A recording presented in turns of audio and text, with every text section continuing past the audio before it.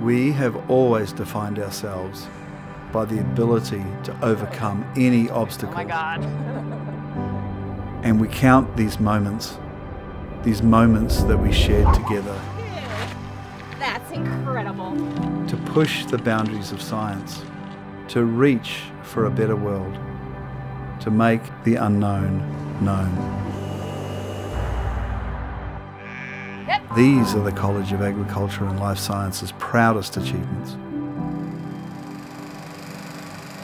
More than a century ago, our college was Arizona's first expression of faith in higher education's impact. It redefined the state. Graduates before you solved their generation's greatest challenges.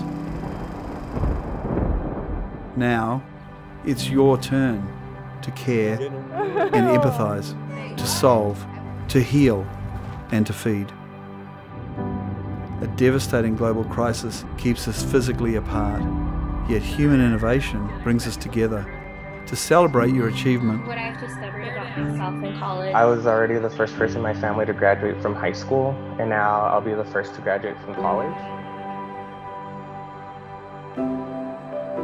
choose not to be the class that lost its semester. Choose instead to define yourself by overcoming a challenge unlike any other in living memory.